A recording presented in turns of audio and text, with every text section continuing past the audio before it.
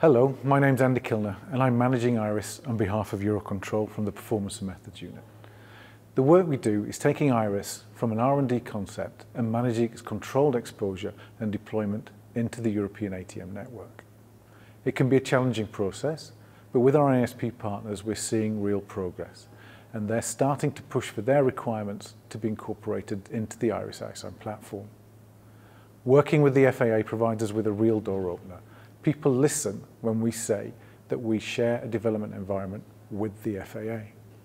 Our partners recognise that leveraging the relationship with the FAA makes them part of a bigger safety story.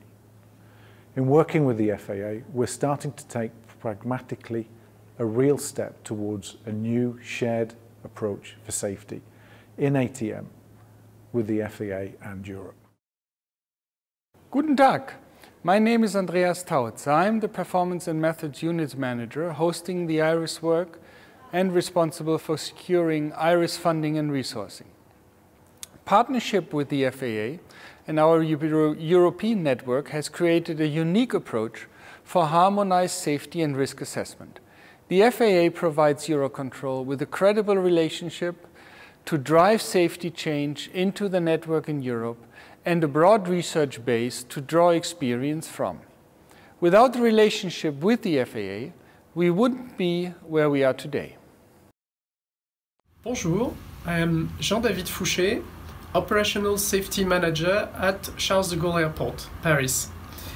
Uh, we saw Iris at a presentation in Paris some years ago when ASAIC was demonstrated and showed the visualization of runway movements and automatic identification of surface anomalies.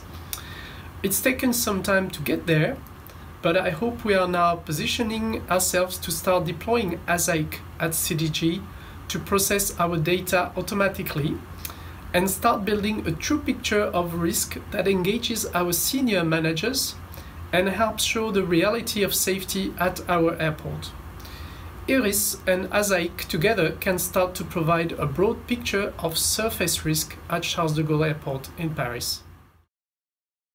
Hola, my name is Marta Llobet Lopez and I'm a safety expert in the Performance and Method Unit at Eurocontrol. I have been working with the IRIS models in safety assessment of change as a tool and developing new models to describe aviation risks, as well as deploying them with our end users at the ANSPs. It is always a challenge to bring new ways of thinking about safety to service providers, but we now have a framework in IRIS and the IRIS models that allow, allows us to do so. Working with the FAA has given us the opportunity to see how new ideas for measuring and describing safety can be brought into reality and ultimately exposed to the operational safety managers in air traffic units in France, Italy, Spain, Switzerland, Austria, Norway, and in the UK. I'm Stéphane de Harvan, Deputy Director for Safety, Security and Quality at DSNA in France. We have been interested in Iris for a long time, and we are integrating Iris as a framework that allows the different units at DSNA to record and measure risk in the same way. DSNA operates five area control centers in most of the airports in France. Charles de Gaulle Airport is one example where we are using IRIS to understand surface risks on the runway and taxiway. DSNA Board of Directors recently took leadership in committing to the use of barrier models in safety as a way to take advantage of the enthusiasms from the guys in operation for pragmatic and operational view of safety. I should also mention that we plan to use IRIS as part of our solution to the question of safety criteria and safety proxies raised in the new European safety regulation. This will be the central piece of our SMS to articulate incident analysis and safety risk assessment of changes in our functional system.